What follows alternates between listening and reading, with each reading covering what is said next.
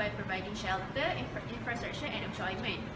Sustainable construction is developing of science field that is purpose to generate general sustainable development uh, of concept in conventional construction process.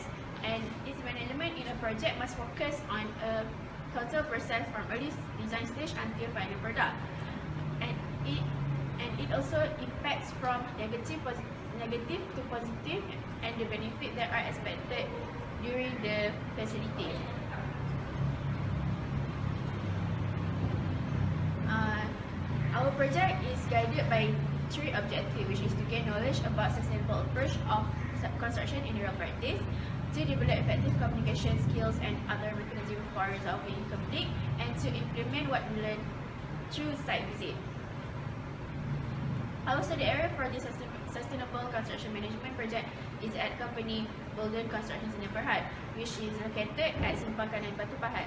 We conduct this site visit to analyze the application of sustainability approach and construction management in real practice and we have conducted an interview with site supervisor which is Mr. Yeo Tang to know the application of sustainable approach that is set on the construction site. Assalamualaikum, my name is Nur Hanisah. I would like to present about literature review. Based on the evolution of non-residential green building in Malaysia, low energy office, which is LEO, building in Putrajaya is to demonstrate an energy efficient and intelligent building without compromising users' comfort. And it's to reduce the electricity consumption for equipment. For example, in the Leo building, the windows are primarily, primarily oriented to the north and south to receive less direct sunshine and shallow shading is required to shade off the sun. Next, based on Malaysian existing green home compliance with leadership in energy and environmental design for home, which is LEEDH.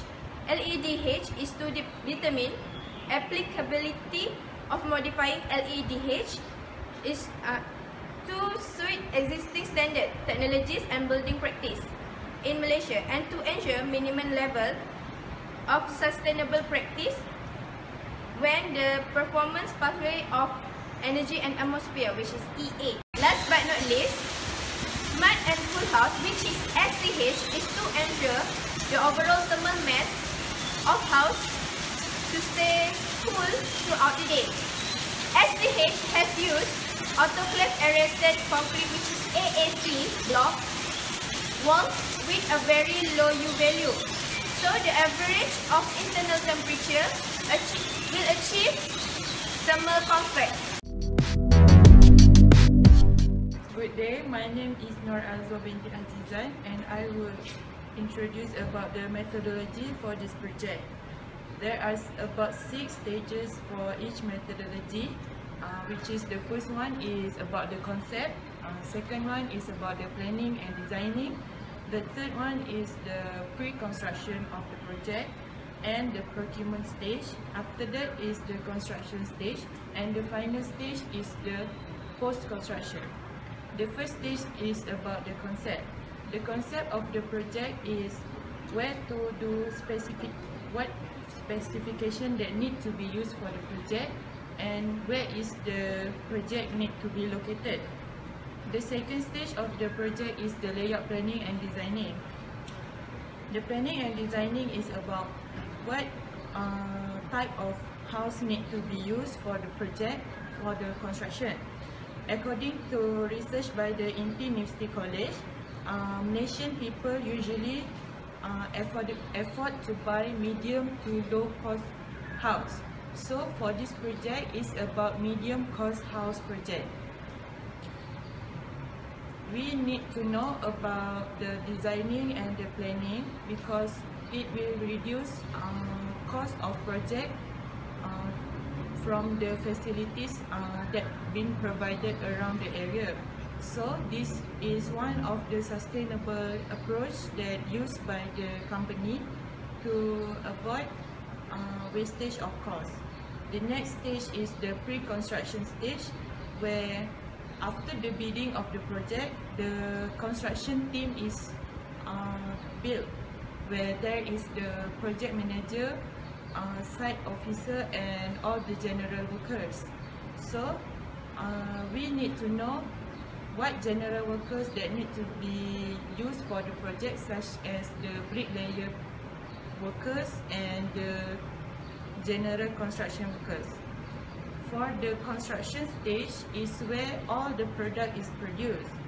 The project is need to be conducted according to the time frame plan to avoid any fine from the client. The contractor don't need to pay extra salary to the workers. Lastly, the final stage of the project is the post-construction for the project.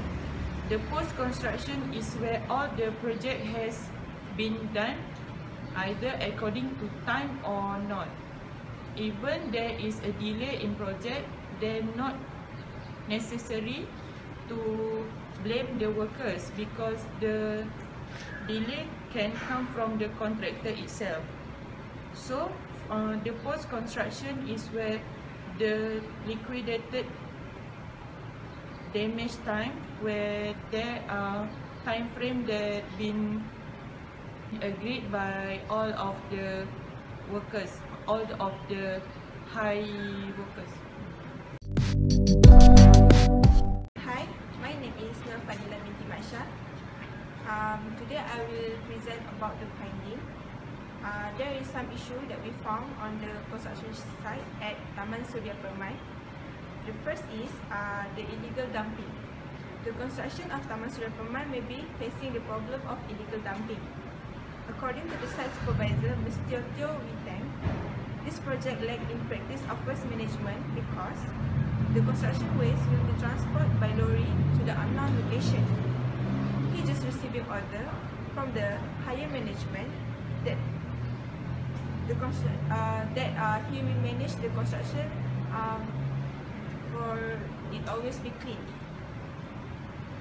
Um, study shows that material waste has high significant impact to the cost of the project as well as an adverse impact on the environment. Second is the lack of PPE. Based on the observation, there is no safety glasses or face shield worn during work operation by the workers. It can cause foreign object getting into the eye during welding, cutting, grinding, nailing, or when working with concrete and harmful chemical, or when exposed to the flying particles. There is also no foot protection. The worker mostly wearing slippers. The third is uh, the efficient facilities to the workers. In this project, the contractor provide efficient facilities to the workers. They have living space to rest, eat, and carry out life with comfort. Human feelings, security, satisfying, um, safety, and comfort is important for the workers. The distant workers will have to travel to the welfare facilities is in 50 meter near the construction site. Okay. The fourth is uh, the noise pollution. Some comfort is disturbed, is disturbed when the noise pollution happen because of the activity from the construction site. The neighborhood sometimes make complaint about noise pollution. The site supervisor said this cannot be avoided. The activities and job function at construction are constant, constantly changing as, as the job progress. Assalamualaikum. My name is Nur Akhilazia Siti Azmi. I will be presenting about the recommendation and conclusion of the project that was carried out. So, uh, from the visit that, that was carried out at Taman Surya Permai, there are a few suggestions that can be taken to improvise the sustainability approach of the construction site. First of it is the proper disposal of waste. Um, the waste should be regularly collected and taken to proper dumping sites such as the sanitary landfill or the incinerator. Second is about the usage of toxic materials as it contains hazardous materials that can harm the health of people and the environment. Next is the usage of energy efficiently as it contributes a huge impact to the environment. Um, the fourth is green construction as green construction could improvise the sustainability of the construction such as the usage of green building index, because it promotes sustainability of the environment and promote awareness among the developers. Next is the uses of new innovations such as the prefabricated method and the building information modeling. Prefabricated method is the practice of assembling components um, in factory and transports those components to the construction site later on. Um, it serves many advantages as it is eco-friendly, financial and time saving and reduce excessive wastage. In Malaysia, it is known as Industrialized Building System, IBS. For building information system is the uses of various technology that can um, in calculation of material.